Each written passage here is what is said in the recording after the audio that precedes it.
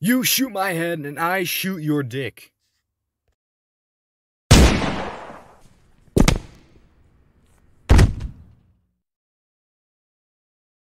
Sir, I got him. Ow! How did you survive? Easy. You overestimate my size. You son of a bitch.